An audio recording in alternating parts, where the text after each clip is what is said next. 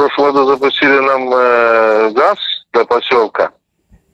Но мы всегда говорим спасибо нашему президенту, правительству, но огромную помощь нам оказал Сигельский Глеб Анатольевич. Всем я писал, но потому что приграничное село на границе с Российской Федерацией, чтобы мы имели газ. Но все это было очень трудно, сложно, они ничего не решили, но благодаря Глебу Анатольевичу мы сегодня имеем этот газ, и благодаря ему мы все говорим спасибо.